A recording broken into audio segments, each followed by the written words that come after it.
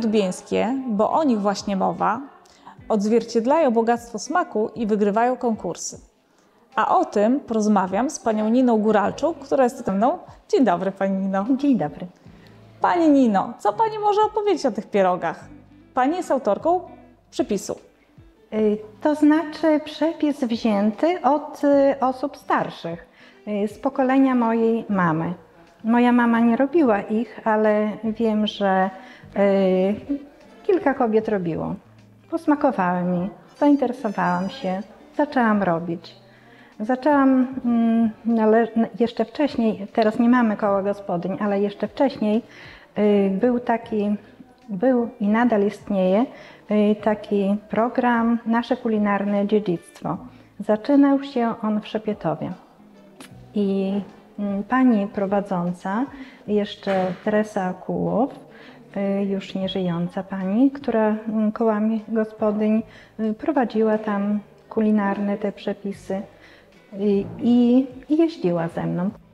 No i występowałam z wieloma produktami. Mm, Pierogi, pierogi dubieńskie zajęłam w Szepietowie. To było pierwszy raz.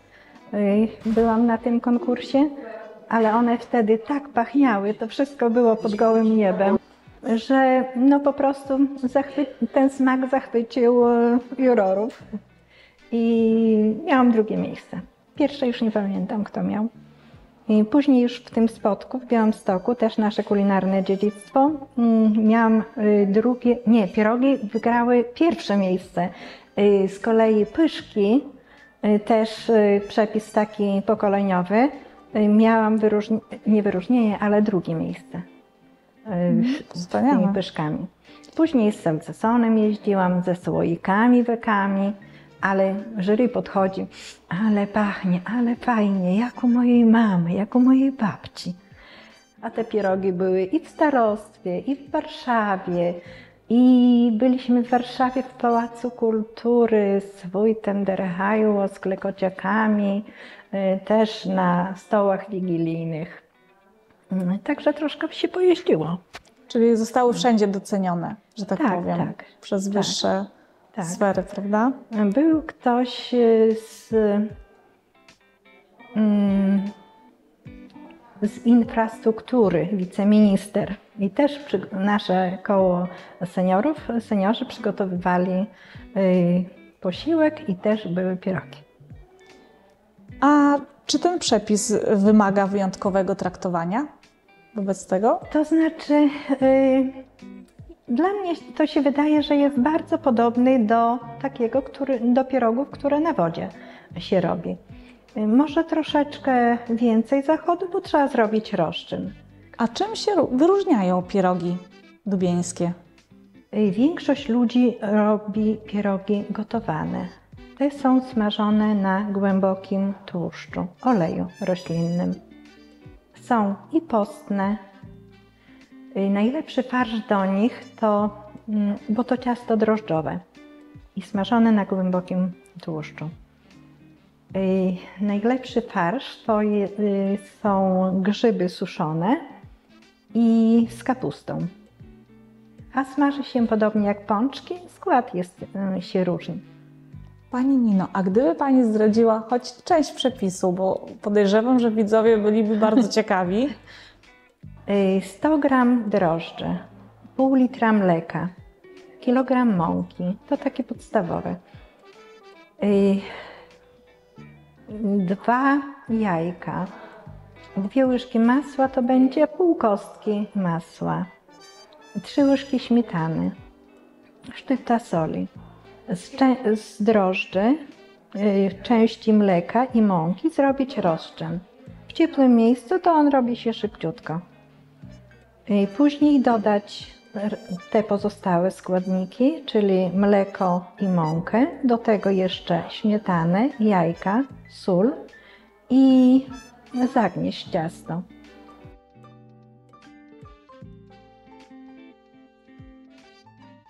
Był zrobiony roszczyn z drożdży dobranej ilości, bo tam było tylko przepis na 100 gram drożdży, kilogram mąki, mm, z drożdży, mleka i mąki, części.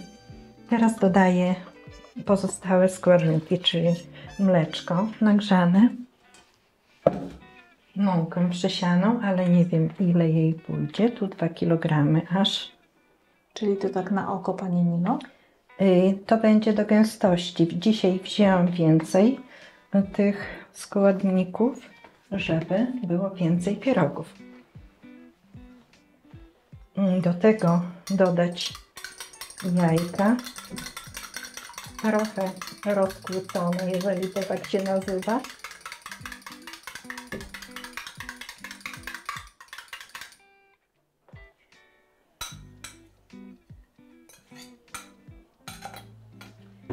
Łyżki śmietany.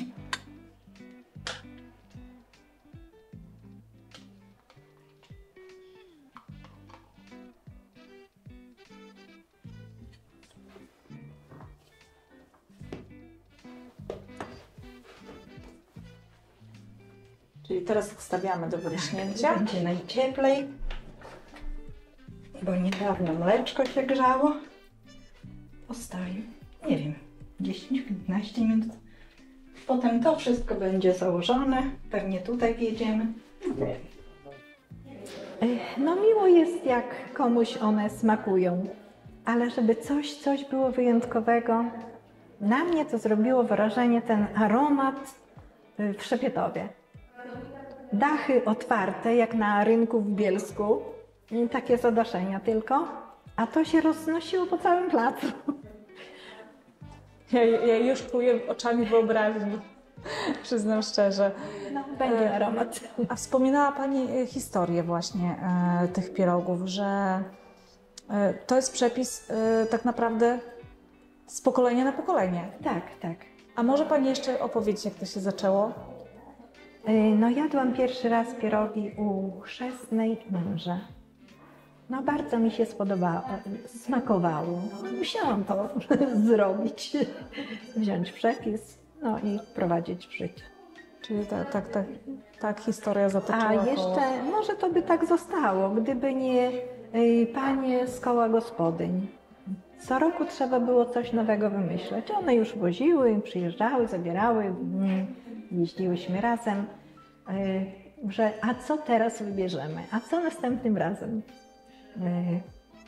wymyślimy i zrobimy? Pani Nino, a y, w jaki sposób Pani przekazuje y, młodszemu pokoleniu to, może przepis ten tradycyjny na to ciasto, czy... To znaczy, jeżeli ktoś jest zainteresowany, jeżeli spróbuje gdzieś na przyjęciu czy gdzieś, no to oczywiście, że, że daje ten przepis. Yy, Czy wiele- jest zainteresowanie wśród młodzieży? No robimy takie czasem taki pokaz y, dla dzieci od przedszkola, takich y, z podstawówek było, były pączki. Mm, Pyszne pączki były robione. To już nie z mojego przepisu, ale y, z koleżanki przepisu.